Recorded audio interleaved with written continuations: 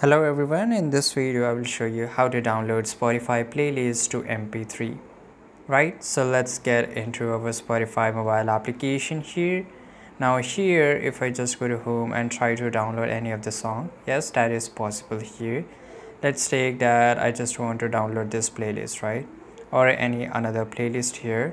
And if I just go and tap on this download icon, it will download all the songs which is available in this playlist, right? And I can just go to my library section and then I can just play those songs or whatever I want. Right? So it's become really easy for me. But if you want to find this music in the local files of your device it will not happen because it only available in Spotify. Right? So you can only just play it from Spotify. And this is the only solution. You just can't find any another solution for this because Spotify doesn't allow you to do that I hope you found this video very useful. Subscribe.